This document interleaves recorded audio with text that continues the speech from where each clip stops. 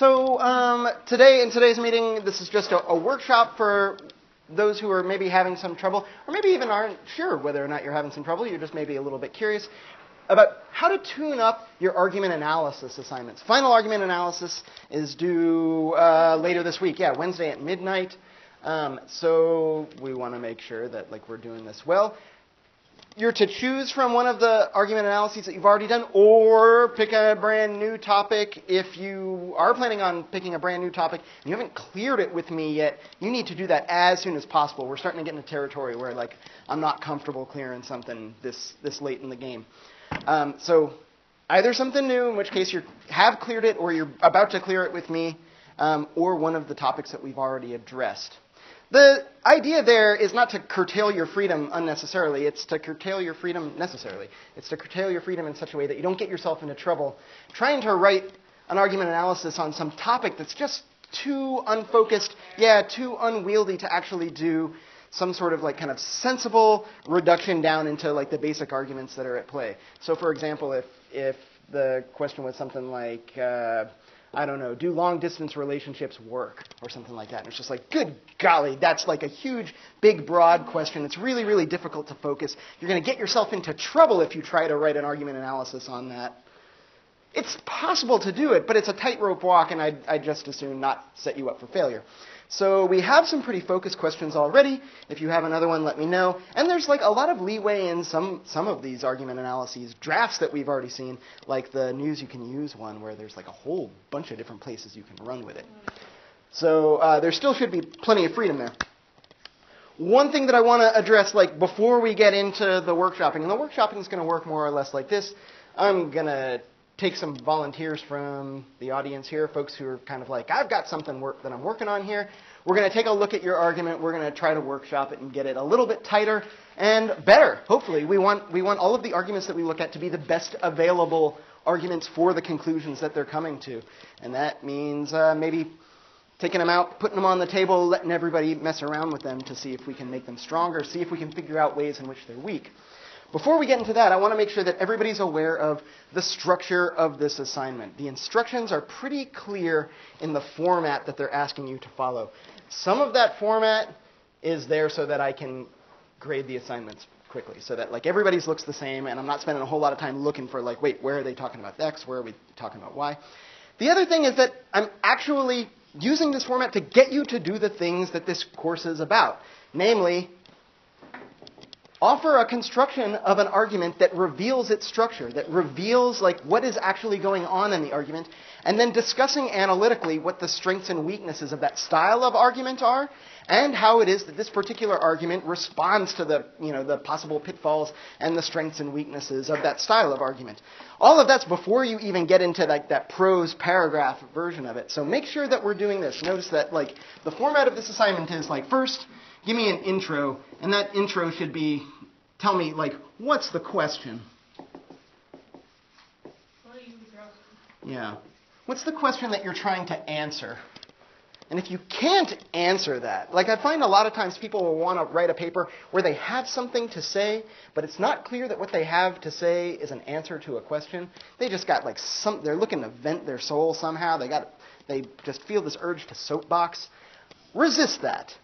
If you're going to like ask somebody to read through what you have to say, figure out first like what's the question that's being asked and is it an interesting question? Not just what is the question, but like why should your reader care?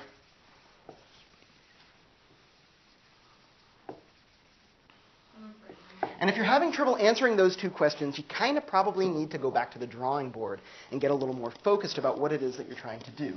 So that's the first part. The second and third parts are kind of like argument one and argument two parts. And then the fourth part is, yeah, which is the better argument? One or two, and why?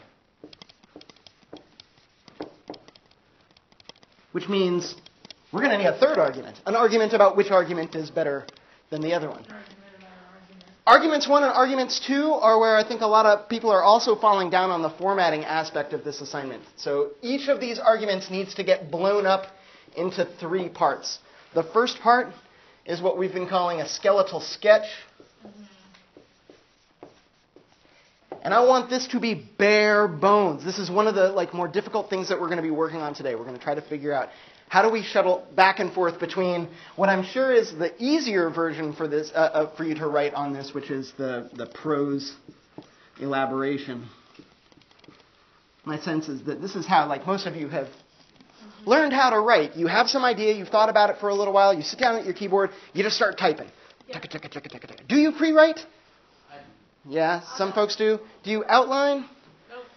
One of the things that we're doing here is we're, we're getting your arguments into such a structure so that I'm forcing you to do a little pre-writing. And maybe even not just pre-writing, because when you think of pre-writing in that sense, it's something that you do before you write, and then you write, and then you're done. Maybe you have some revisions where you'll go back and you'll rewrite what you wrote. But do you not go back to the pre-writing again? Because the pre-writing is your, that's your, your blueprint, right? Mm-hmm. That's where all the organizational work is going on. And it certainly seems to make sense to me that when I'm doing revisions, I want to revisit that skeletal sketch. So one of the things that we're going to be doing today is shuttling back and forth between these kinds of vague intuitions that you have about the argument that you're trying to make that you would put in a first draft of a prose elaboration. We're going to try to see if we can focus that a little more to get a, a better skeletal sketch. And then there's this section in the middle, which is argument, type, identification, and analysis where you're telling me this skeletal sketch that you just made, like what kind of argument is that? We've discussed a wide variety of kinds of arguments. Identify it for me, and then tell me, like, what is it that makes that style of argument good? What is it that makes that style of argument bad? And now you've got a blueprint already kind of worked out for like whether or not the argument that you make is good or bad, because you've already set the criteria for what's a good version of this type of argument. Does that make sense? Mm-hmm. All right, so you're going to do that for argument one, you're going to do that for argument two. And then in part four, don't need any skeletal sketches, don't need any argument type identification or analysis. All that's going on down here is a prose paragraph or two or three. Let's try to keep it to one if you can. This is not meant to be a paper. This is meant to kind of be a very rough but very highly um, highly organized version of like a pre-writing for a paper. This is a very this is kind of not even a first draft of a paper. It's the work that I would expect you to do in order to write a good first draft of a paper. All right, so you're going to do that for argument one, argument two, and then a third argument that tells me which of those two arguments is better and why. Maggie, you've had your hand up for a while, very patiently. What is it that you have to say? I, I'm afraid I'm committing the fallacy of giving the argument you believe the most time talking or the most light yeah, you're having trouble seeing it from the other side and, and kind of no, charitably I representing? See it from the other side. It's just I feel like I'm writing about the side I want you to believe more. And Do you need to be writing more in order to make your argument? I sometimes get this from folks that they're like, this argument's better because it's longer. No, right? That makes no sense. You maybe don't need to, it might be the thing that you want to say more about. This kind of maybe gets back to what I was saying before about soapboxing rather than question answering, mm-hmm. question asking and answering. But like, yeah, you might just have a whole bunch of stuff that you want to say, but ask yourself if you are, you could have two different things going on, maybe both of these two things. One of the things is that, let's say it's argument one that you have a very long account for. Maybe you just have a whole bunch of stuff that you're trying to say in this that doesn't actually answer your question. Yeah. It's just other somewhat related stuff that you have on your mind that you want to kind of get off your chest and write it down and let everybody know what you think. Just answer the question. You don't need to you don't need to kind of like explore all of the tangential ideas. The other thing that could be going on is it's not so much that argument 1 is artificially long because you are losing focus on how to answer your question. Could be that argument two is just not being elaborated on as much as it should. So you have a difference between argument one and argument two. Maybe that means argument two, for the sake of balance at least, if not fairness. Argument two maybe needs to be a little bit longer. Maybe argument one needs to be a little bit shorter. You should probably be thinking about both of those. Yeah, Hagen.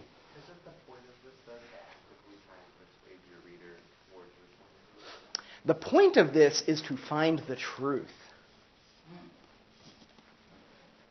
And if you believe that you found the truth, then you want to reveal it to your reader, such that they would look at your reasons and be like, those are good reasons. Is that persuasion? Perhaps. We know that if, one of the reasons why I might be kind of like itchy about this is that in order for persuasion to happen, all that needs to occur is for somebody to change their mind. And a good argument is neither necessary nor sufficient for persuasion. People can be persuaded by bad arguments. People can fail to be persuaded by good arguments. All it takes is sticking your fingers in your ears.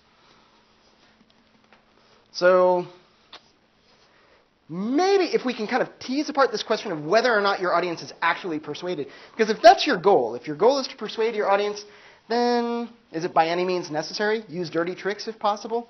I will pop you for that if you do that, right? If you're using dirty tricks, I'm not going to say dirty trick. I'm going to say sloppy reasoning. There's a, there's a fallacy that's gone on here.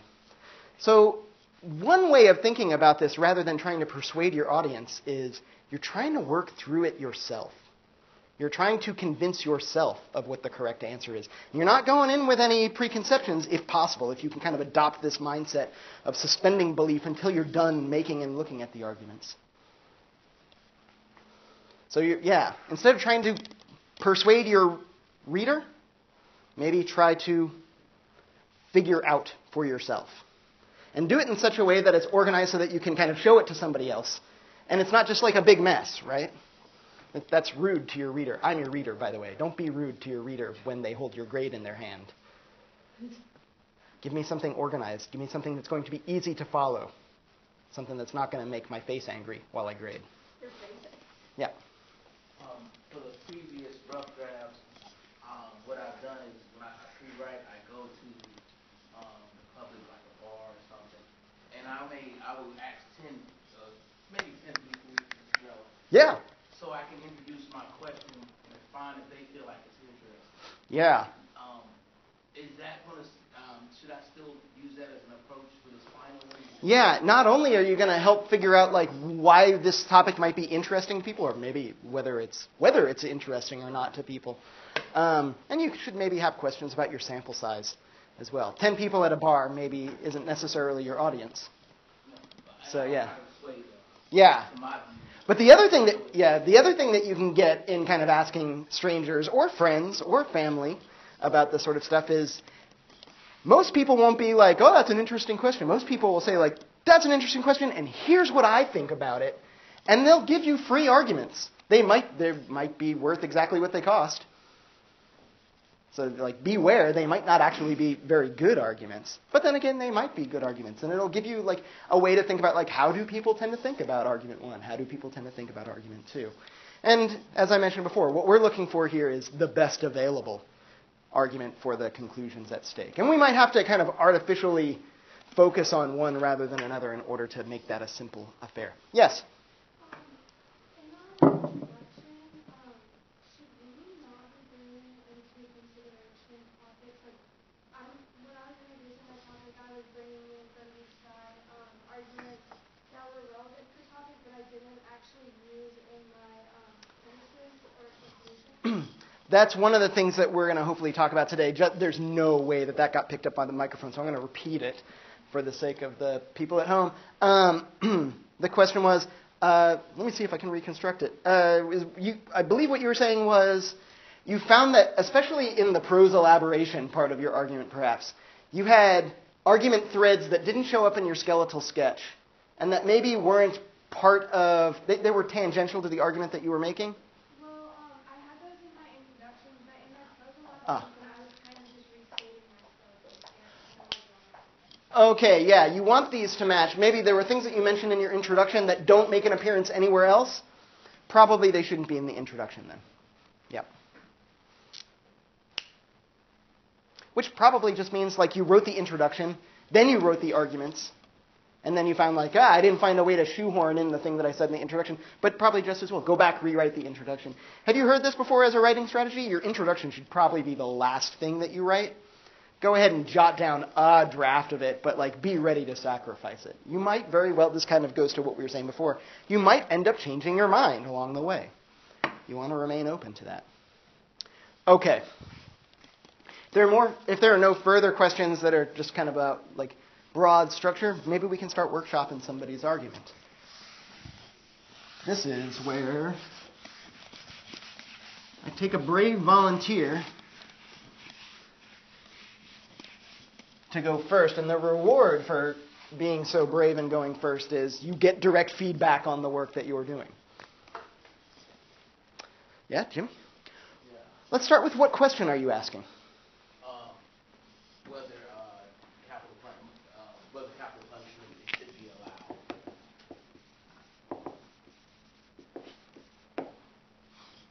Permissible? in the United States or, yeah, let's- let's- let's- yeah, Presumably anywhere? presumably. Yeah. Maybe we, we'll limit this to the United States. If we need to make a distinction there, that's going to be a, the most interesting thing for your audience, which so far is you and me and all the rest of the folks here, most of whom are fairly concerned about like what the legal status of capital punishment is here in the United States. Maybe North Carolina, if we want to narrow it. Maybe we decide that this is a state issue rather than a federal issue. But either way, maybe the real question that we're asking is like, if you and I were to build a brand new society from scratch, what would we have to say about capital punishment? Should it be permissible? Should it not? Okay. Two arguments. Argument one, argument two. Do you have a sense of which way you're leaning? Uh, yes, Which way are you leaning? I'm, I was, um, I was leaning towards yes. You were leaning towards. You were leaning towards yes. Are you still leaning towards yes? Not, I'm not, I'm straightening a little bit up based on the class argument and Okay. People, you know. People at Jake's, yeah, okay, yeah. You you workshopped this with other people, and they give you some reasons to perhaps think no. But you started out leaning towards yes, and you seem to maybe still be leaning towards yes, but less confidently. less, well, not less confidently, less uh, persuaded, because I never, I was always just yes, never heard any arguments for the other side Okay. that were compelling.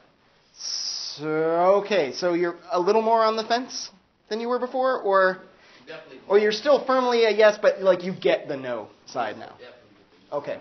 All right. Um, where do you want to start? Do you want to start with the thing you already know, or do you want to start with the thing that you're less sure about? The less sure. Let's start with that. All right. What do you suppose are the best arguments for no on capital punishment? And before we move forward, everybody see how tidy that was? Question Is capital punishment permissible? How many possible answers? Yes? No. You have two sides. Elegant, right? Now you only have to worry about argument one, argument two. You don't have to worry about, like, well, maybe there's some third position that's neither yes nor no, or both yes nor no. Like, hmm, neither one of those seems to be sensible positions. Maybe we can open this up if people want to talk more about it. But it looks like a nice, tidy, focused question, at least insofar as it can be broken into two possible answers a yes answer and a no answer. So let's start with what Jimmy was saying about uh, the no argument. Not that we, that's the conclusion. What are the reasons for believing that conclusion? The, the uh, rehabilitation.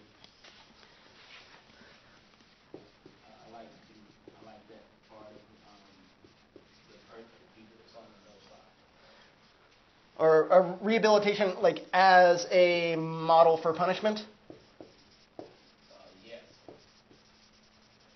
Okay. So, this all by itself, not even a premise yet, right? It's not even a statement. Doesn't have a truth value. Rehabilitation as a model for punishment. Can we make it into a statement at least? Yes. Yeah, it shouldn't be too difficult. How would you just tweak this sentence fragment into something that like could be true or false? One of my classmates back here made a very good statement for this argument. Okay. Um, may not be today, but yeah. Do you remember what it was? it, it, it, um, it, just leaned towards the side, well, you're not giving that person a chance when we should be more um, leaning towards rehabilitating the person.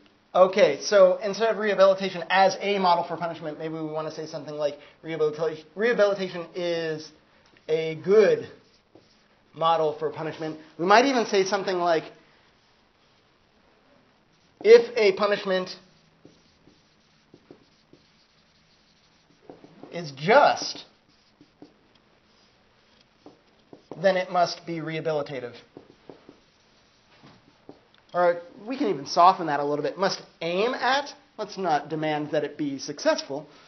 After all, the person just might be a bad seed and they're not interested in changing. But it must at least aim at rehabilitation. Now, I'm not sure like how 100, 100% like confident I am that this is true, but this seems like a nice if-then statement to build an argument off of. And notice we started out with just kind of like a vague idea. So, uh, rehabilitation. There's something about rehabilitation. Let's get very clear about what we're saying about rehabilitation. Perhaps we want to say that if a punishment is just, it must aim at rehabilitation. And from here, we might say something like, how are we going to start from here and make an argument that gets to no capital punishment is not permissible? Yeah, Hagen. Um, rehabilitation relevant. People who are in prison, they're never getting out anyway if they murder someone. So I, I don't think the question is should you you didn't answer the question should capital punishment be permissible. That's it. Well, we haven't gone beyond one premise yet. Let's see, let's see if we can actually get from this premise to the conclusion. If punishment is just, then it must aim at rehabilitation. Can we say something like capital punishment does not aim at rehabilitation? Hold on, hold on, hold on. We're, we're jumping ahead, like one thing at a time. Like one se- first, let's turn this sentiment into a sentence, and then let's turn that sentence into an argument, and then we'll step back and look. Like, is that argument any good? Can we make it stronger? Capital punishment is not rehabilitative. Can't even aim at it, right?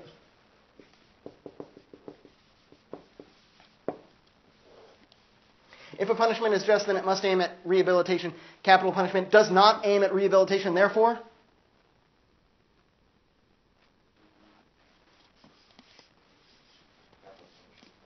Therefore, capital punishment is not just.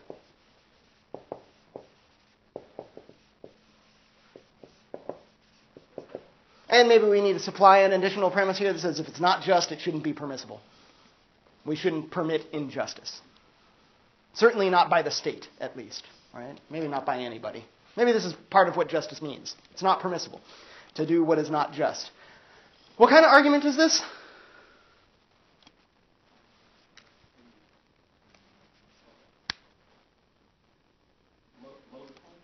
Mm, close. Not modus ponens.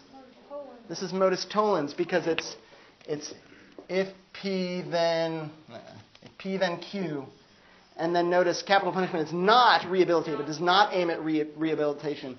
So we're actually saying not Q, therefore not P. That's modus tollens.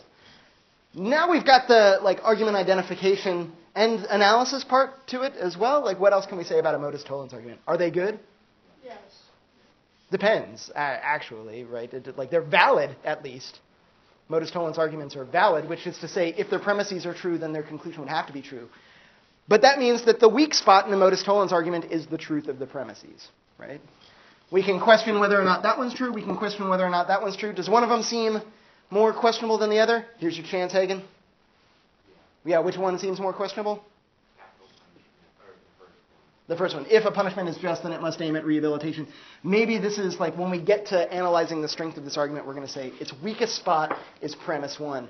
This is where perhaps this is like a, a, a lead on where the battle lines between yes, the, the yes and no con, uh, conclusions might end up occurring. Right? It's this question about like, how do I feel about this premise? And we can certainly take some time to get into why we might doubt this premise. We might want to try to find a stronger argument.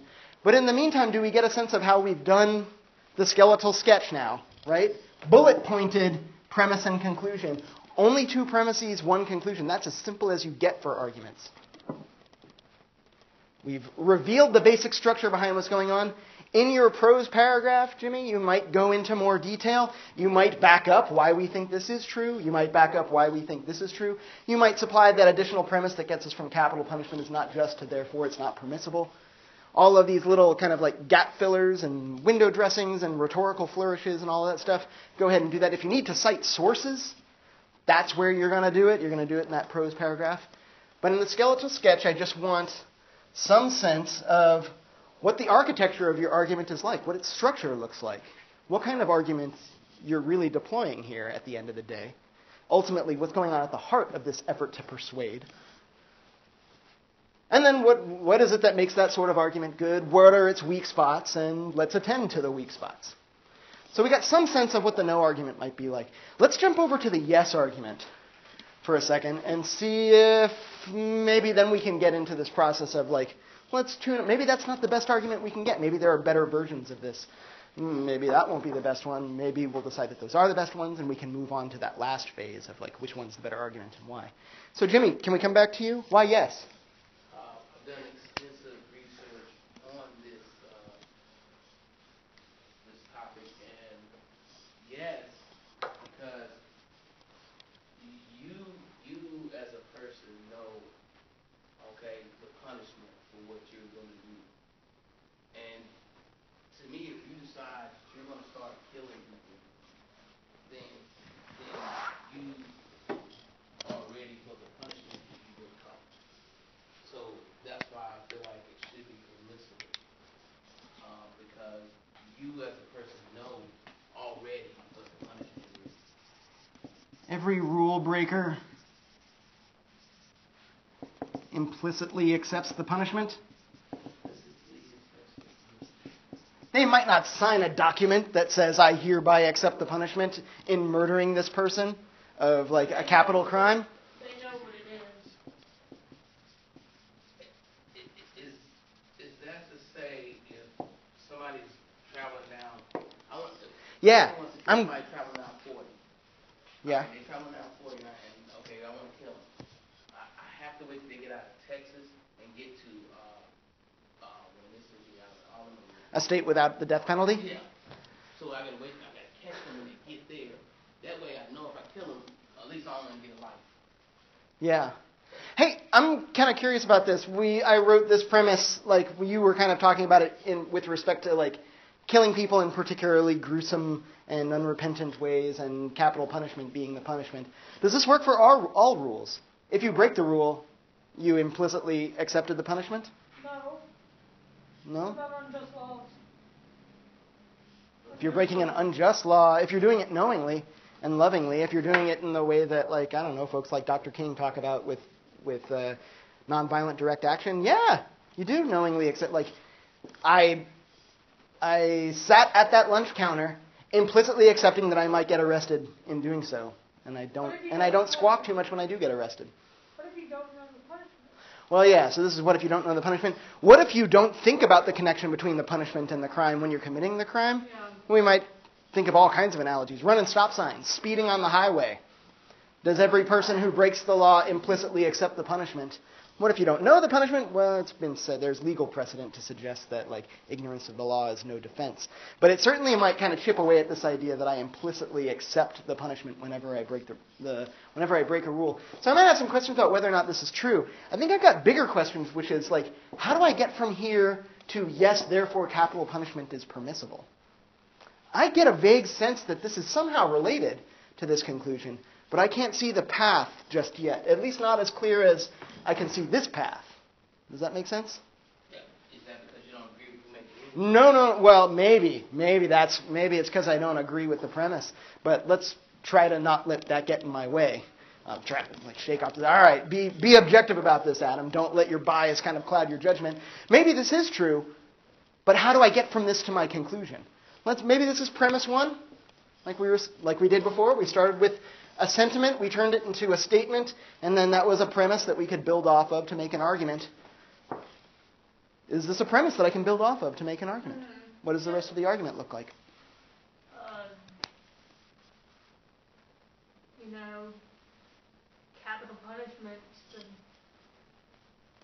the, the, the law of what you get if you break a rule, or a certain rule. Capital punishment is the punishment for breaking certain rules. Yes. Therefore, every person who breaks those certain rules implicitly accepts the punishment. Mhm. Does that mean that the punishment is therefore permissible? Any punishment that somebody accepts must be permissible? Yes. Yes. Timmy's like, say yes. You say yes. It's your argument. this is hard because I'm on the opposite side of the argument. Well, yeah, it is hard. This is you have to overcome your bias in order to see it that way, right? Yeah. Yeah. Um, but this is what the exercise is all about, right? This is where we're trying to like get the best version of this that we can.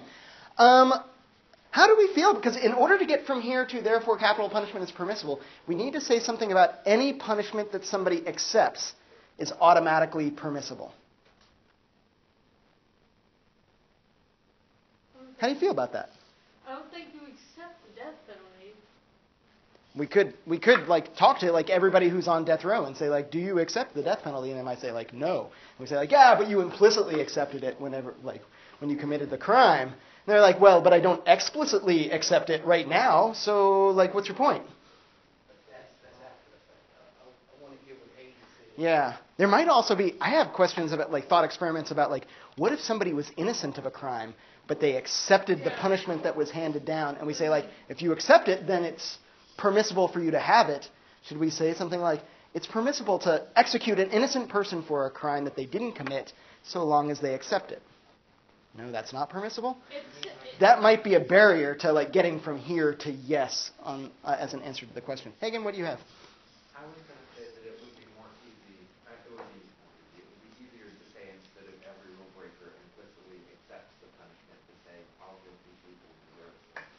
I do you feel about that, Jimmy? Should we can we change our first premise? All guilty people accept their, accept their punishment. No, all guilty people deserve their punishment. Don't accept it, but they. Yeah, maybe you don't accept it, but you definitely, if you break a rule, you deserve the punishment. I can't say implicitly accepting punishment. No, you can say you can. It's your argument analysis. You can say whatever you want. We just have a question about like it seems like it might be difficult to get from here to your yes conclusion. But implicitly makes it easier. Yeah, we can. Well, we can. We have two paths before us right now, at least two paths.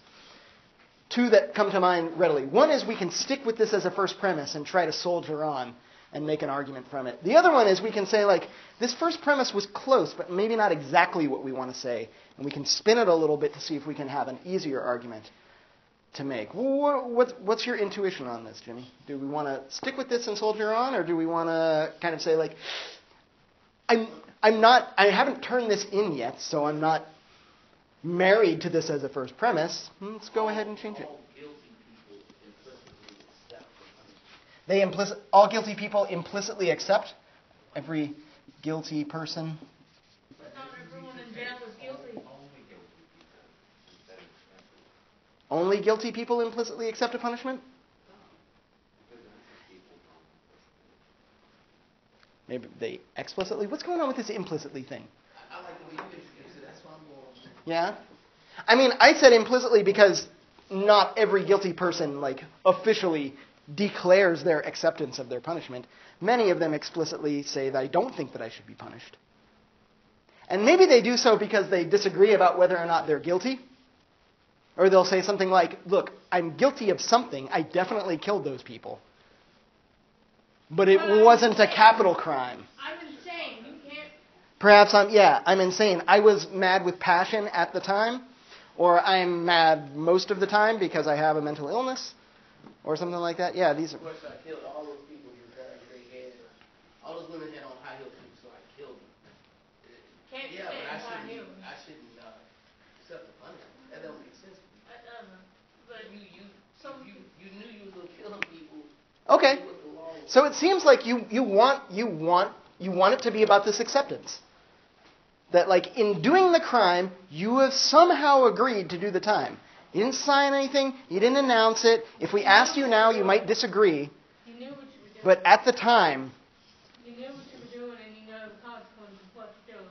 So it's kind of. so therefore if you knew what you were doing and you knew what the consequence was, that consequence is deserved. Every guilty person implicitly accepts their punishment. No matter what it is, Yeah. No matter what the punishment is. no matter what the punishment is, because what we're asking is whether or not this particular form of punishment is just, not whether or not it's the punishment that's on the books, but whether or not it should be the punishment that's on the books. Let's see. Every guilty person implicitly accepts their punishment, and then we said something. What was what was that last part? If you implicitly accept it, then you deserve it. I can't say that. You can't say it? Anybody else think that like we can find a way through with this first premise? Do you want to see what it looks like if we change that first premise up a little bit? What, what was it that you suggested, Hagen? Only guilty and all guilty people. Only and all guilty people? Or all and only guilty people deserve punishment?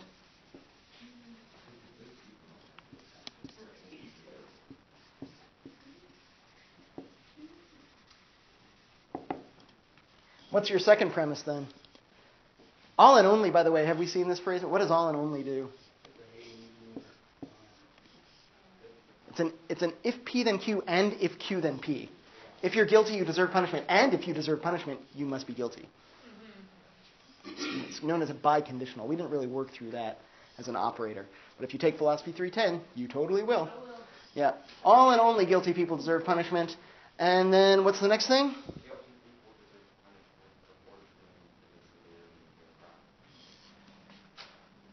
crime. Bunch of words hanging. Uh, all guilty. All and only guilty people deserve punishment.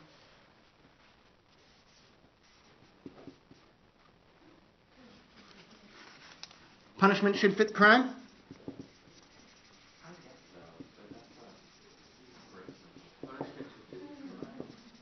By fit, you mean proportional to?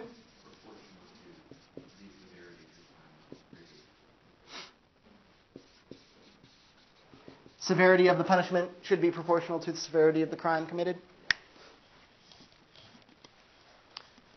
Which is a shorthand version of this would be the punishment should fit the crime. All and only guilty people who deserve punishment. Punishment should fit the crime. So all and only, I can get to another conclusion from here. All and only guilty people deserve a punishment that fits their crime. Am I too yes on capital punishment yet?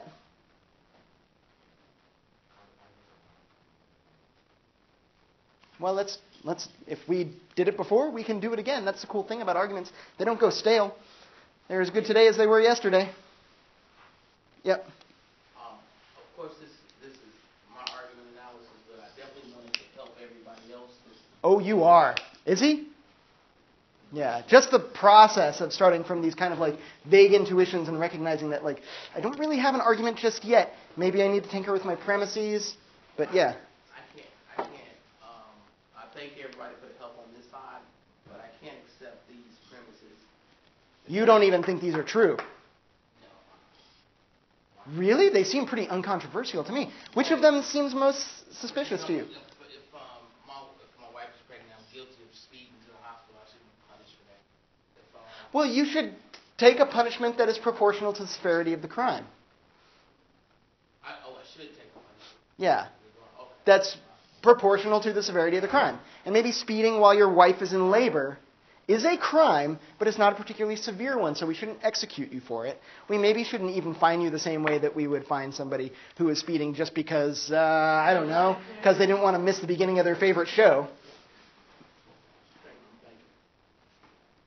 Eh, maybe it's a maybe it's a, a shake of the finger, and hey, don't do that again. Or maybe we would say something like, "It's actually not a crime to speed while your wife's in." Eh, maybe, not. Maybe this comes back to your kind of implicit acceptance, maybe even explicit acceptance.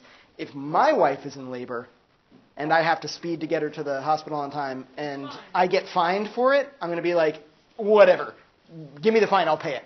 Totally worth it to me.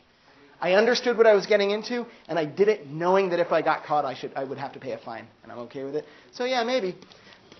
Aside from that, one of the ways that we might test this is to say, like, can I think of some guilty people who don't deserve punishment?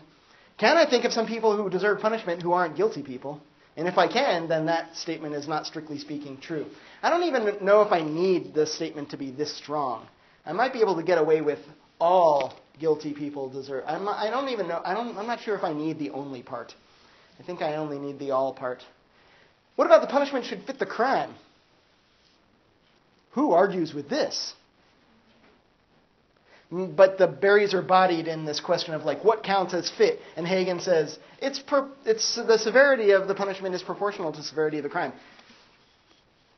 That's still like there's a whole lot of, of hashing out to do there, right? Like most of our debates are going to be like, is this proportional, right? Does that punishment fit the crime?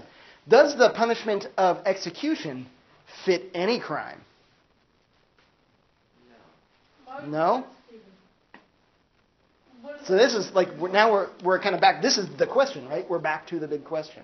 What does it do for society if you take a person out of the world? It's not going to fix the problem. Maybe it's not about fixing the problem. Maybe it's about proportional punishment.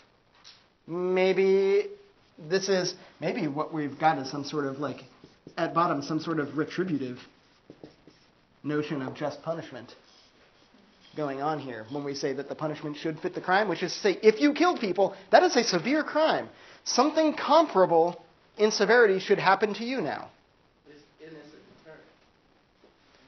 No, Well, hold. This, now we have this question of like we're we're taking a completely different tack if we go with deterrence, right? If we say that like the reason why capital punishment is permissible is because it's deterrent, and then we're saying something like if a punishment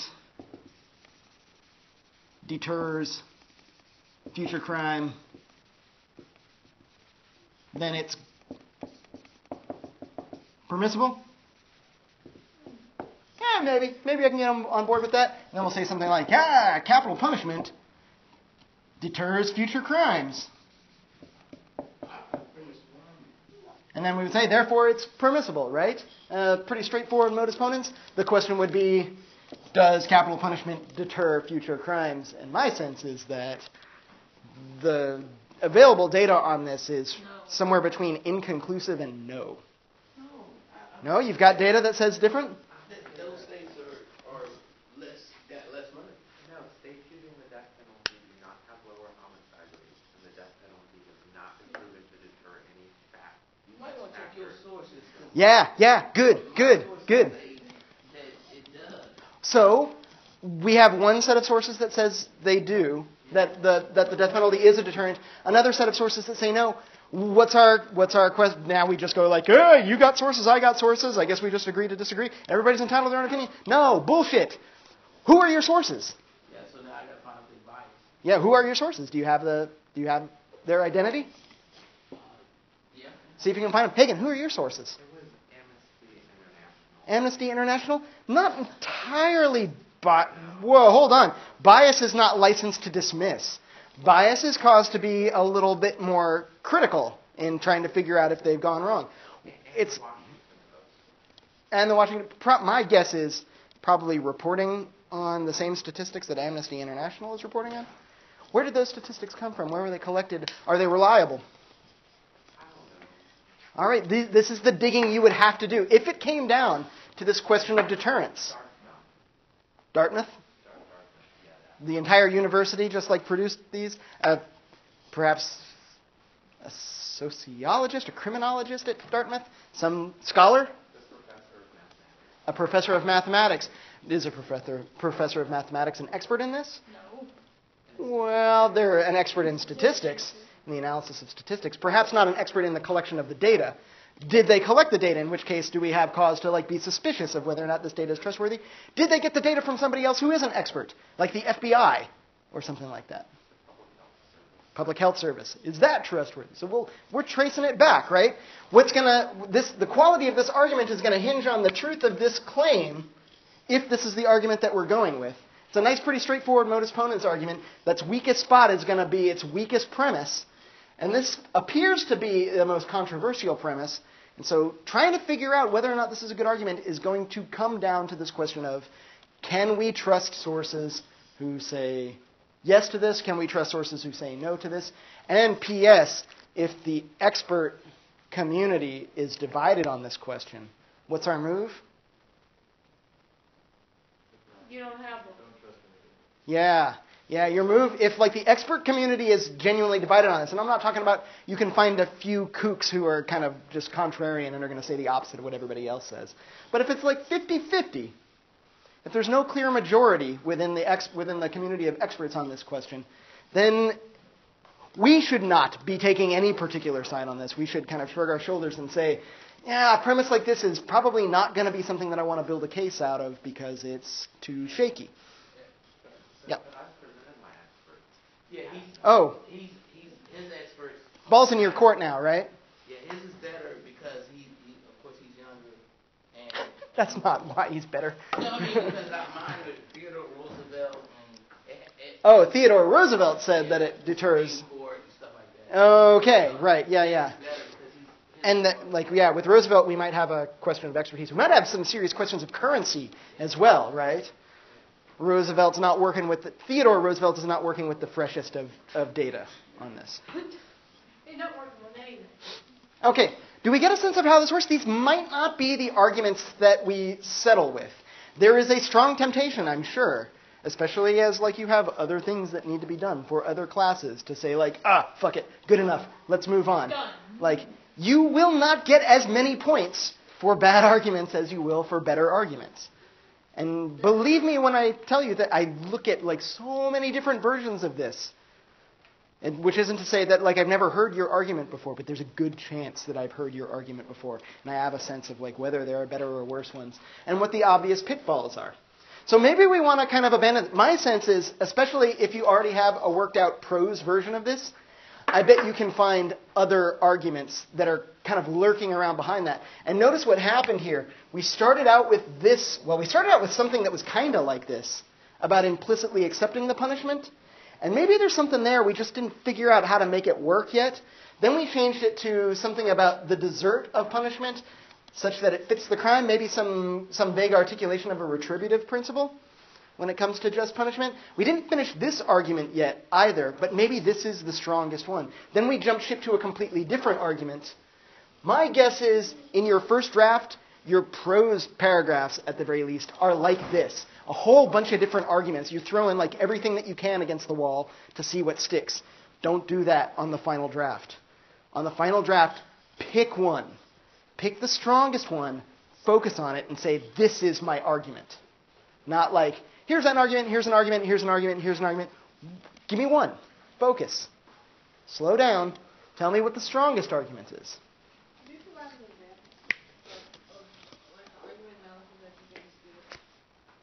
I think the one about the the one that I posted about about whether or not a hot dog is a sandwich is pretty good.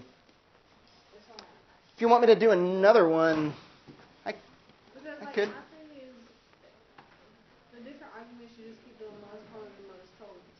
So oh we didn't have to like this one is modus ponens right now, but if we decide that like what this really comes down to is this, what we're really basing this on is maybe some kind of enumerative generalization on the basis of data that's been collected. Can I make an inductive generalization about whether or not the uh, whether or not the death penalty deters future crimes? Maybe I'm doing this on the basis of an appeal to expert authority, in which case, really, this argument is an appeal to expert authority. That there's this kind of like broad modus ponens thing going on, but that's not the most interesting part of it. Most interesting part of it is the appeal to authority that's going on in asserting premise two. Does that make sense? It's not a bad move to at least initially be thinking in terms of simple deductive arguments because they're going to help you get a nice clean structure. Maybe it's modus ponens, maybe it's modus tollens, maybe it's disjunctive syllogism. You'll start out with a this or that and clearly not this, so that's the only available option. And then from there, kind of go on to see if it works. But you don't necessarily have to like cram it into that box. There are other options available to you as well. Perhaps at our next workshop on Wednesday at one, which is cutting it oh very close to the deadline for this assignment. So like my expectation is that you wouldn't be coming in with nothing at all.